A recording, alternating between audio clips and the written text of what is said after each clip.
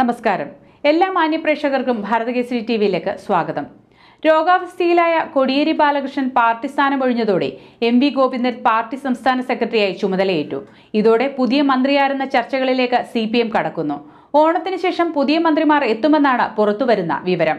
അടുത്ത വെള്ളിയാഴ്ച ചേരുന്ന സംസ്ഥാന സെക്രട്ടേറിയറ്റ് യോഗത്തിൽ പുതിയ മന്ത്രിമാരുടെ കാര്യത്തിൽ തീരുമാനമുണ്ടാകും. ഒന്നാം പിണറായി സർക്കാരിൽ മന്ത്രിയായിരുന്നവരെ പരിഗണിക്കേണ്ടെന്നാണ് പാർട്ടിയുടെ നിലവിലെ തീരുമാനം. നിയമസഭാ സമ്മേളനം തീരുന്നതോടെ എം വി ഗോവിന്ദൻ മന്ത്രിസ്ഥാനം രാജിവെക്കും. വെള്ളിയാഴ്ച സി പി എം സംസ്ഥാന സെക്രട്ടേറിയറ്റ് യോഗം ചേരും. അതിനു മുമ്പ് പോളിറ്റ് ബ്യൂറോ അംഗങ്ങളുമായി മുഖ്യമന്ത്രി പിണറായി വിജയൻ ചർച്ച ചെയ്ത് തീരുമാനമെടുക്കും. ഒന്നാം പിണറായി സർക്കാരിലെ മന്ത്രിമാരെ പുതുതായി ഉൾപ്പെടുത്താനുള്ള സാധ്യത തീരെയില്ലെന്നാണ് ഒടുവിൽ ലഭിക്കുന്ന വിവരം.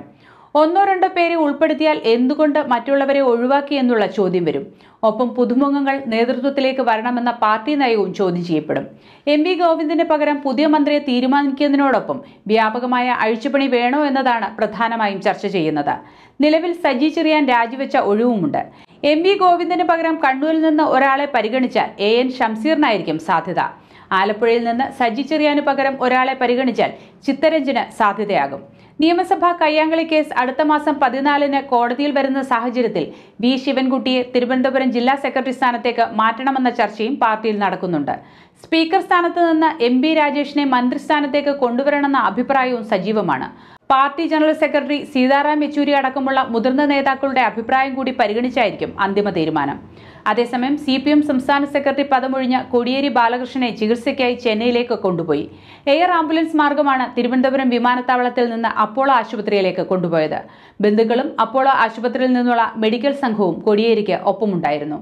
രാവിലെ മുതൽ മുഖ്യമന്ത്രി അടക്കമുള്ള മുതിർന്ന സി പി എം നേതാക്കൾ എ കെ ജി സെന്ററിന് സമീപത്തുള്ള ചിന്ത ഫ്ളാറ്റിലെത്തി കോടിയേരിയെ സന്ദർശിച്ചു.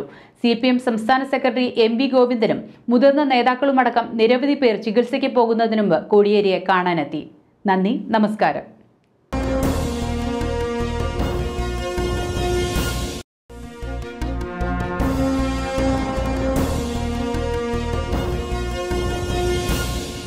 ചാനൽ സബ്സ്ക്രൈബ് ചെയ്യാത്തവർ ഉടൻ തന്നെ സബ്സ്ക്രൈബ് ചെയ്യുക.